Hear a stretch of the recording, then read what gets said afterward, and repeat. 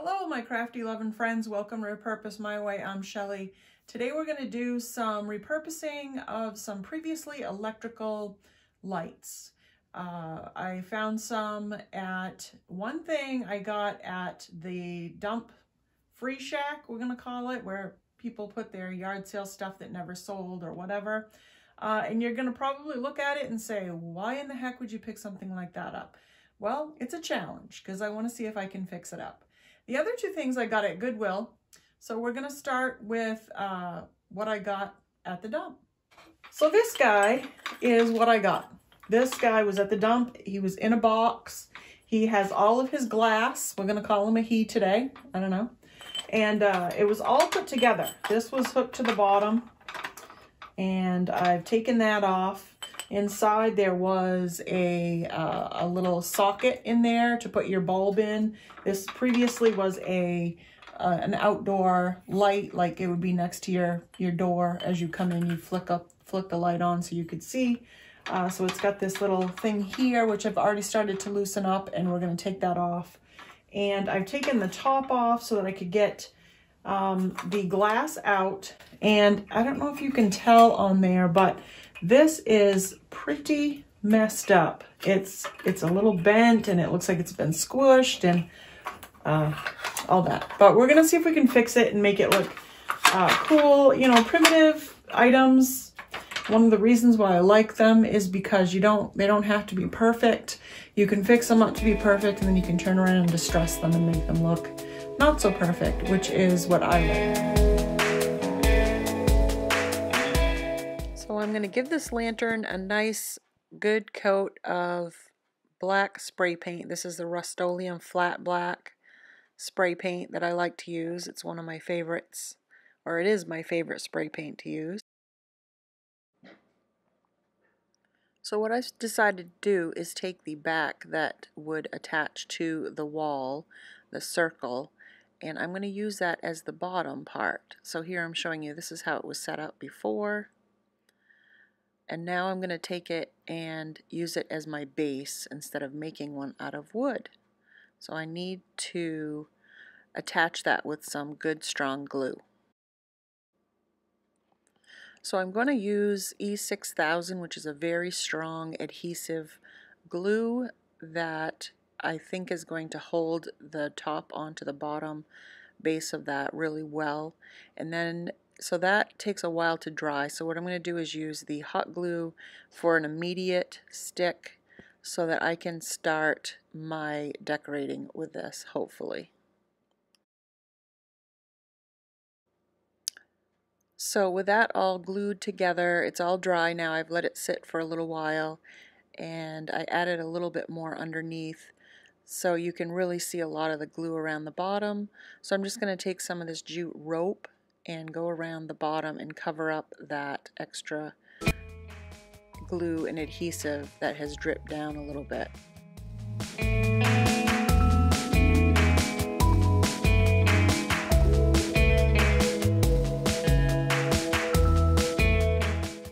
Quite a hole down in the middle of the lantern where the electrical socket went for the light bulb. So I'm going to stuff it with some Spanish moss to build it up so that I can put a light, a little tea light in there and hopefully it will stick out enough and not fall into the hole and show. There we go. So I'm just showing you there. It's I'm just fitting it to see and it's not falling in so I think that's going to work well. And it also gives it a nice base of um, to add my greenery to uh, to make that stand out in the lantern also.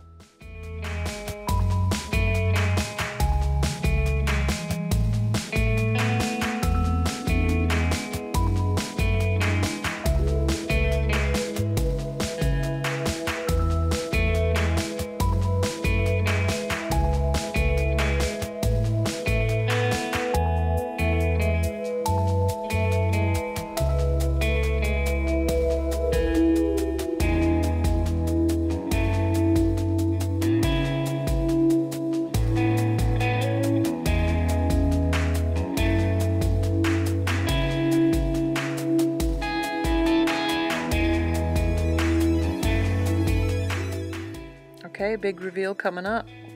See what you think.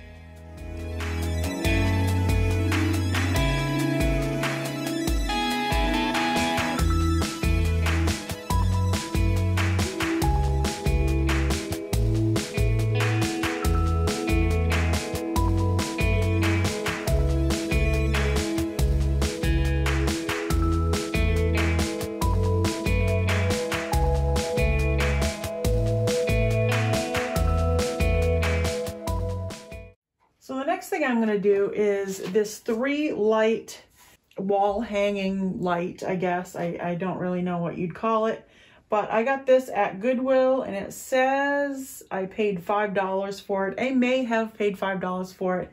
Uh, and it may also have been 50% off. I do shop a lot of the 50% off sales, so it may have been 50% off. They all had these, so I still have these things here. I'm not sure if I'm going to keep them or not. Um, but I have kind of an idea on what I want to do with this. I've got kind of a vision uh, and I'm not sure if it'll come about, but we will see. But first I need to get the rest of this cord out. Uh, all the rest of them had been taken out and I just have this one left that I need to work on and get my tape and sticker off. And uh, we're going to see what we can do with this guy. So with this project as well, I'm using my Rust-Oleum flat black spray paint and giving it a good coat of paint all around. And then once that's dry, I hit it with the Rust-Oleum clear flat sealer.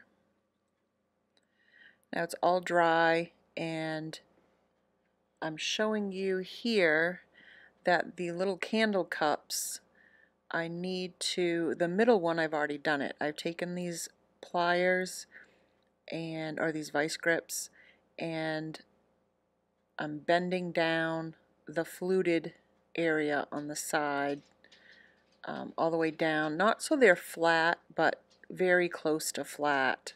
I have some glass jars small ones that I have that would fit on that really nicely but it won't with those fluted areas up so high. So I have to flatten them out a little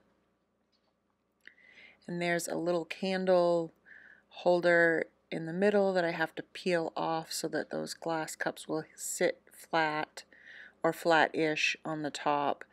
Um, I'm going to use some nice of some of the E6000 uh, and that should glue that down nicely um, and keep those on there. So that's the little glass jar. It comes with a little lid and I got these I think at Goodwill a long time ago and I just had them kicking around and haven't done anything with them. So all three of those candle cup holders I flattened them out mostly all the way and see now the jars will sit flat on there and I can add the E6000 and I also add a little bit of hot glue just so that it um, will seal quickly and hold it while the E6000 dries.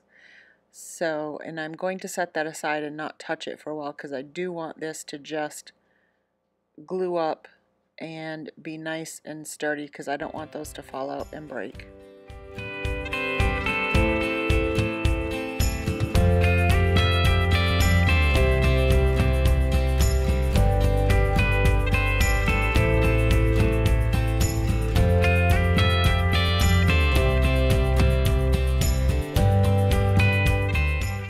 To be extra cautious of making sure that it's glued down, I'm taking the hot glue and going around the edges and the fluted part to make sure that they are secure. So now I'm going to set that aside and while that's drying I've taken this little tin star that I have, it's a little candle holder and I'm going to put some Mod Podge on there and I'm going to grubby this up and make it look like a rusty grubby star. So the Mod Podge and then taking my mixture, oh it's got cinnamon and nutmeg and all kinds of good stuff, ground coffee, um, it's got, uh, uh, I don't know, I can't even think of the rest of it. It's a mixture. There is a video on it. I'll link it here somewhere of what I used in there. But I put that on and then I kind of tap it off and make sure the loose stuff falls off. And then I take my Mod Podge and go over it and give it a nice seal. Now this is looking white and muddy and yucky right now, but once it dries, it dries clear and that uh, spice mix actually gets a little bit darker and it looks just like rust and it's really cool. There we go. So there's the star. It's a little bit darker. And I'm going to glue that right in the middle behind the middle candle holder. I wish I had three because I'd probably put all three on. So after this dried, we glue on the star. And then I'm taking some of my Spanish moss again. And because the middle, the bottom of these jars are kind of rounded, I want the lights that I put in them to sit flat. So I'm using the moss to kind of help that. And then I'll just nestle those lights right in the middle of that moss. I'm going around the top with a little bit of jute. This one is twine, so it's the thinner stuff. I may have gotten this off Amazon. I think that's where I got it. It's a big roll of it. So I'm putting that around the top. Just, I don't know, I went around two or three times. And now I'm taking this black and white checked ribbon and going around the lights to give them a little bit more color to go with it. And because I had glued around the edges, I put some twine around that too. So here's the finished product. Hope you like it.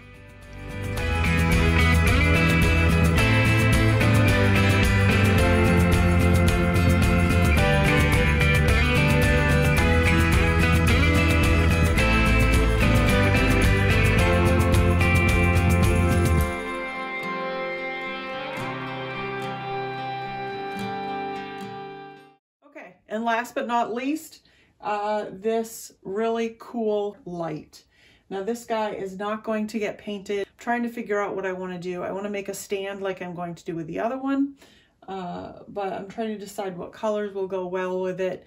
And uh, I think I'm going to be taking all of this stuff off. It, this was a hanging light. It would hang from the ceiling.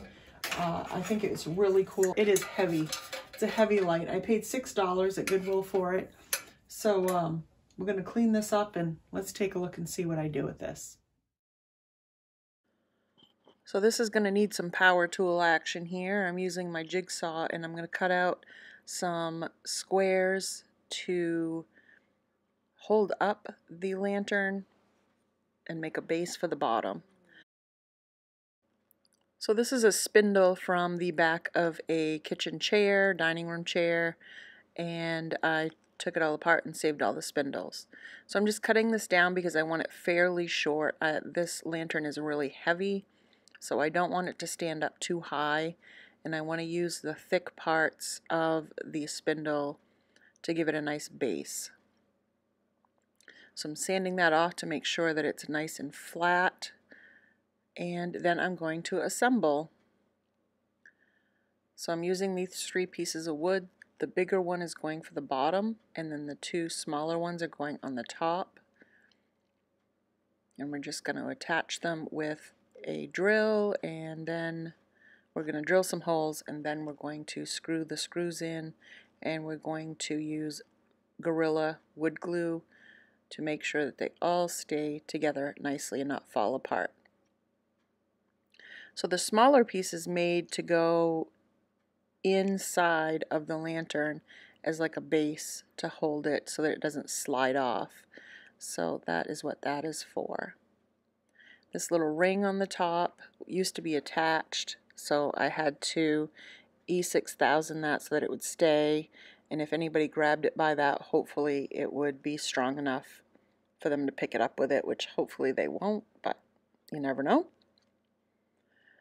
So now I'm taking the antique wax that I have and just going all over the wood pieces to make sure that they're all covered with a nice stain and then I'm going to wipe them off, wipe it all down, take off the excess. Now with this part, I was going to just do a dry brush on this stand and leave a lot of the brown coming through. Uh, once I did that, I wasn't really happy with it, so I decided to do a second coat, a thicker coat of it, and this is the Plaster Waverly paint, chalk paint, and I did a thicker coat and just covered it completely. And then once it was dry, I did go back and sand it down.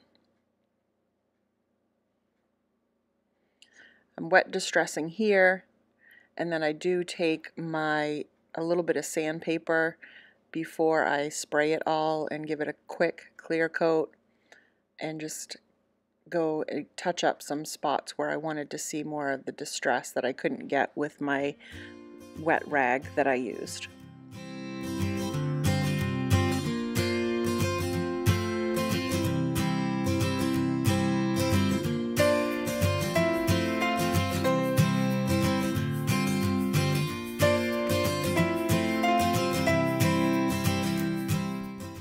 I'm taking some lace ribbon that I have and I'm going to go around the edges on the top and the bottom to give it a little more of a finished look and I think it looks really nice with that plaster paint. Um, it stands out just a little bit and it gives it more of a dainty finished look on it.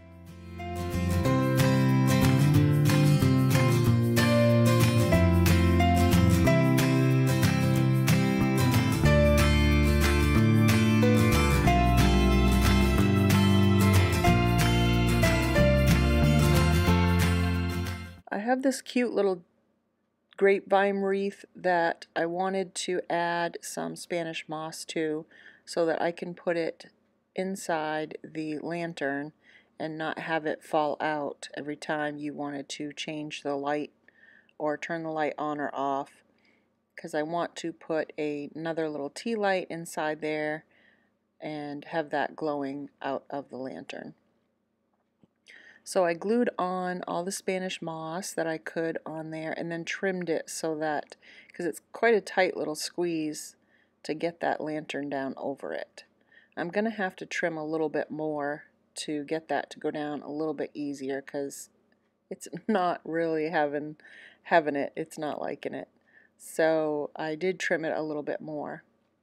Now I'm taking off a few of these long pieces of this vine that I got from Michael's recently or Hobby Lobby. I guess it was Hobby Lobby recently. And I got them for half off.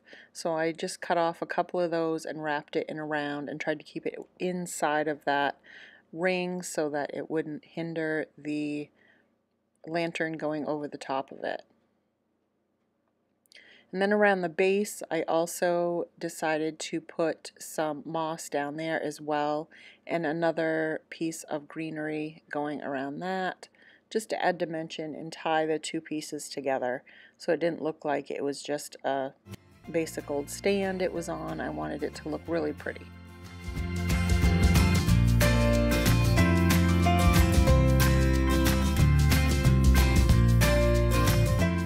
Once I got that done, I decided that I needed some more greenery going down around the spindle. So I cut another few pieces of the greenery and then stapled them on. I flipped this stand upside down and stapled them on up underneath where the lantern's going to sit so that you can't really see that they're stapled on.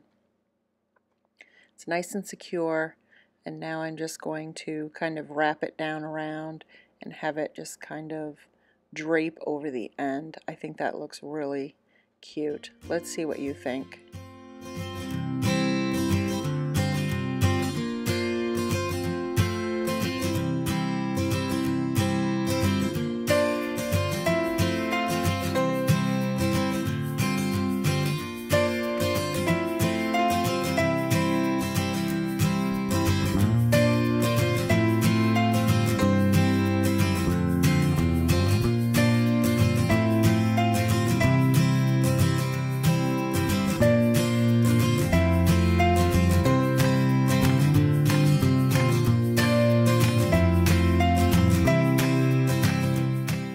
Hope you guys enjoyed my trash to treasure thrift flip. I would love to know which one you like the best. Let me know down in the comments. I think all three of them came out pretty cool and I'm pretty happy with them.